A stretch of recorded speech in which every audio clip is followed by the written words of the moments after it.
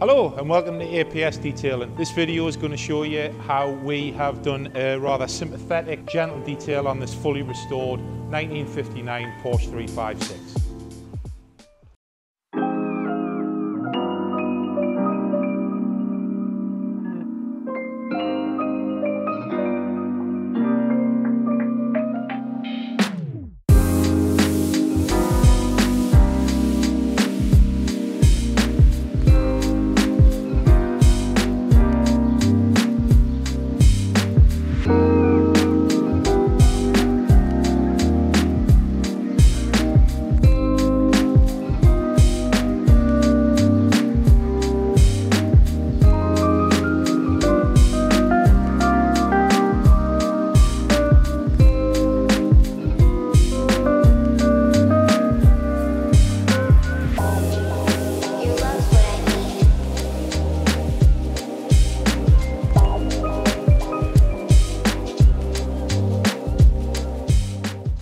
So if you've gotten this far, thank you very much for watching. Done this one a little bit differently. This car's been fully restored to the standard that you can see here in front of you. We didn't go mad with the wash stages because the car's literally been sitting in the garage since the client bought it last year. So the next part of the video will be the polishing stages and the detailing stages where you can see me sitting with toothpicks in the badge for over 45 minutes. I'm sure Aaron's not going to show you all of that. Um, and then we'll do the walk around at the end of the video where you see the full car finished in all its glory.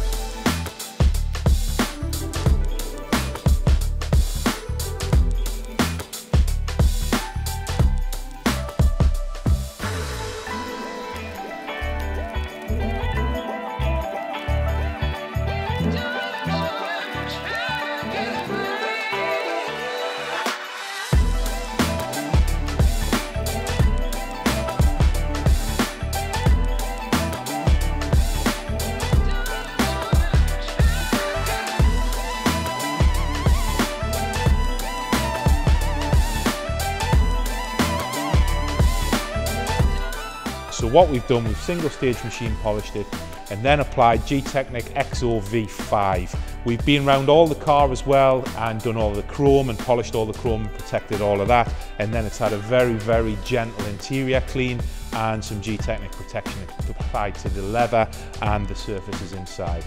Enough of me rambling. Been an absolute pleasure to work on this. Hope when he comes to pick it up, he's over the moon with it. So here's the finished shots and thank you for watching. Enjoy.